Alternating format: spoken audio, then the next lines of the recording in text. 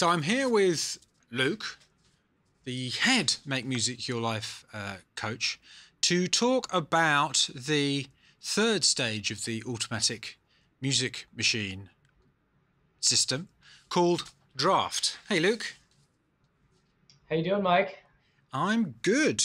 So, Draft. What's it all about?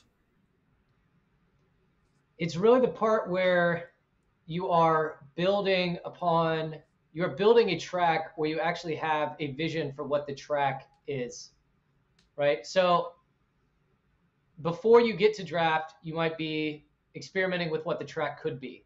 And draft before you get to draft it's almost like if you're about to build a building you have the blueprint ready right? And before you go in with the blueprint you might have tested out some walls. You might have thought about different uh, ways that this building could look, different ways that it could work, um, done some experimenting. But then once you actually finalize that blueprint of what the track will be, that's when you put it into draft within the automatic music machine. And that's when you actually start building the blueprint that you've come up with. So, in a sense, there's two halves of the machine there's splurge and discover, where where it's the divergent part of the creative process where we're coming up with new ideas, more options, finding out what the music could be. And in a previous video with uh, Joni, we talked about why Discover is so important, particularly if you want to be uh, an artist, because a lot of people just miss out Discover and already know what it is. But once you through your experiments and the fun that you've had and the trying uh, different things, you've you've come up. Oh, I know what this music could express. I know what it it could be. It's like you have, as you say, and I, I mean, often it'll be an idea in your mind, or it might be various different uh, lists that you've made. You know, uh, notes that you've uh, uh, made. Uh, you know what the purpose of the track is.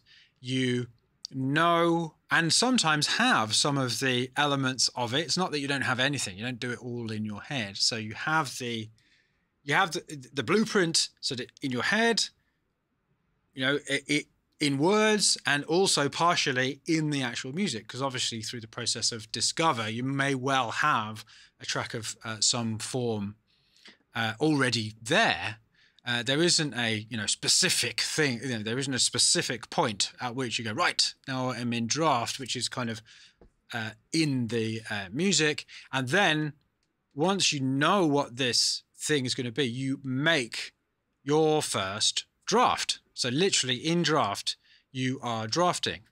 So why is that? Why is it useful to think of these stages of the creative process like this to so why is it useful why is it helpful for you to know that you are in draft rather than in discover or or, or, any of the other stages? I think a lot of people don't ever separate the discover and the draft so they kind of work against themselves and they'll start going off in all different sorts of directions when they're actually in the drafting phase. So when you're in the drafting phase, really what you want to be doing is getting that particular vision that you have of the track done as quickly as possible. Because what happens with the automatic music machine is if that vision doesn't work out, you can always bring it back, right? But what a lot of people do is they they have a vision and they kind of get it going, but they put the brakes on and either try basically unconsciously go into discover again or cut the knees out of the idea or never define the idea at all and just kind of go frivolously without any sort of map. And that ends up causing them to spend six months on a track and never release Which is anything. always changing into another track. it's like, it's Right. like this never ending, like, well, you know, three months ago it was a completely different track. And then three months before that it was a completely different track. You know, and the other, uh, the other uh, benefit of uh, doing this is if you ever struggled to arrange things, okay, like actually having a, I mean, draft draft isn't just about arrangement. It's not as prescriptive as that. You know, the, the directions in the machine aren't as like now you're in draft, you can only arrange. But what tends to happen in draft is that you do a fair amount of laying things out, shall we say. Um, and you know, making you know, you're thinking about things like, is there a payoff? I mean, why don't we explain what, what's a payoff, Luke? When we talk about a payoff in uh, when we're uh, that's one of the questions that you have to answer. Is there a payoff? I mean, what is a payoff in a piece of music? Uh, I mean, if you thought of it like a like a story, it's the it's the climax, it's the peak, it's the moment where all the tension is released. It's where the musical argument justifies itself. Um, uh, that's a that's a very academic way, I guess, of saying that. Um, it's the moment where your hand, if you know, if it's a club track, it's the moment where your hands are in the air and you're like, yes, this is it. This is what I was waiting for. Yeah, often, um, often in a club track, the the uh, the payoff is the drop. Yeah, when when mm-hmm. the the rhythm. Well, not all club tracks, but you know, certainly big room ones where the where the rhythm comes back and everyone just goes nuts. Yeah, that that, that in a in a pop in a a piece of pop music, often, not always, the uh, payoff is the final chorus. Um, mm-hmm. It's like where it all makes sense. The the moment at which the most tension is released, usually, um, where people go, oh, okay, so that that's where this has all been um, going. So that's one of the things that you figure out both in your head, but also in the music in draft. I mean, really, that's one of the first things you need to do because once you know where you're going, often everything else writes itself. Because when you know that you are drafting and you know what you're supposed to be doing, that is actually a different kind of mental state or process or way of thinking than if you're just trying stuff.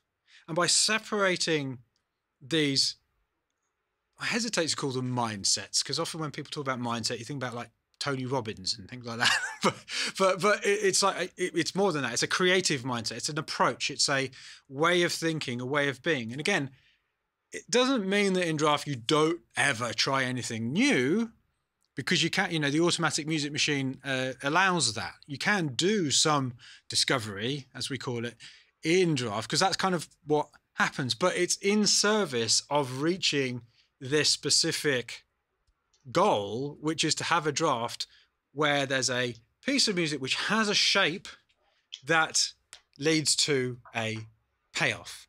You know, it has certain sections and it leads to some kind of uh, a payoff.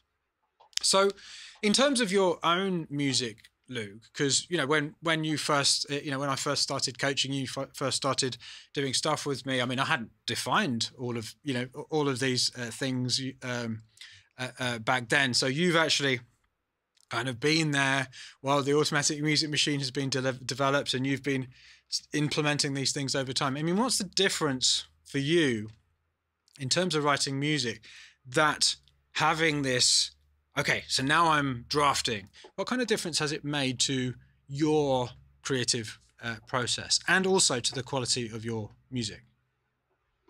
Oh, I think it makes it a lot quicker because once you decide what you want it to be, it's almost like I can write out on a sheet of paper what I want the track to be and where to put everything. And then I just put it, right? And I'm not asking, is it good or do I need to try something different? I'm just trying to get that thing out, right? And a lot of times when you just do that and you get the full thing, the full vision out, you don't end up needing to try anything because it actually works. Whereas a lot of people, they they just make some random thing and they start tweaking and changing and asking and wondering and then they're like oh well it could be this and they start going in that direction but then this huge amount of crippling self-doubt comes in or or they start questioning it and then they're basically going back to discover instead of just moving forward and getting the actual vision out because a lot of times when the vision's out it's like everything falls into place and it just works mm-hmm. so it allows you to write much quicker and it allows you to when you're writing have a lot less pressure on you because you know you can always go back to discover if you need to, right? Yeah, exactly. And also the the other thing, I mean, this points to another thing about the automatic music machine, which isn't specific to draft. Draft. It's just specific to the system, which is that when we are actually making the music, i.e., literally when we are in the studio, let's call it, even if you don't have a, you know, even if you're in your bedroom, right, or in your kitchen or something, but let's call it in the studio. Yeah, when you're actually making the music, we don't judge what we're doing. We just do. We just create. We just let, and because we leave that judgment at the studio door. Yeah, or at the door door. if you're using a door. Yeah, so so you, you just leave that and you you you just you do what you have decided to do beforehand. This takes an enormous amount of pressure off your process as well. You just okay, so this is what the piece of music is going to, you know, this is what I think it's going to be. It's going to lead to this, right? You make those decisions outside of the process from listening, which is actually when you're much more objective, right? Because when you're in it, it just is very different. And then you do it as far as much as possible without judgment. So you just lay out the thing, right? This is what I've decided to do. I'm just going to do it. Da-da-da-da-da. Yeah. I mean, how much quicker, how much, how much less painful does that make it if you don't, if it doesn't have to be good, right? So then you lay the thing out, you export it, you don't worry about it, and then at another time, you come back to it and you listen to what you've done, and you get a completely different perspective than when you were doing it. If you've ever had that experience of being in a session, doing it, go, oh, this is absolutely amazing, and then coming back to it the next day and going, this is terrible. What was I thinking? Or the opposite way around, thinking that it was terrible and coming back thinking, actually, this is quite good. You will know for a fact, you will have it, it like displayed to you in your experience often that your opinion in the moment of creation is often is highly unreliable. So this is what the automatic music machine allows you to do. It actually systematizes this. Right, you just do it. Don't worry about it. And then you can come back to it, listen to it, and then decide what to do outside of the process. So really, in draft, you can still let go you know you, you, can still let go of it needing to be great in any given moment while you're working on it because that actually allows it to be much better because you're not second guessing yourself. Um, and it also makes arranging i mean i i used to have this big barrier to arrangement. Oh no oh no, i suppose it's time to arrange now and then it wouldn't work and so then i'd go back. That just is no lot i mean it, it just doesn't exist anymore. That there, there is no barrier um, whatsoever because you're not really thinking about arrangement in in that way. So you know, to take from this, I think the most the most important thing you can uh, take uh, from this is understand the difference between the divergent part of the creative process, which is splurge and discover, and the difference in approach between that and the convergent part of the creative process, where you actually have an idea that you are working towards, which is about removing options. It's about actually zeroing in on uh, a goal. Because trying to do both of those things at the same time, which is what a lot of people do, trying to come up with ideas and edit those ideas at exactly the same time, is like putting your foot on the brake and the accelerator yeah. at the same time. I mean, if you do that in a car, what do you end up doing? You end up going round in circles. In other words, looping, which might yeah. sound familiar.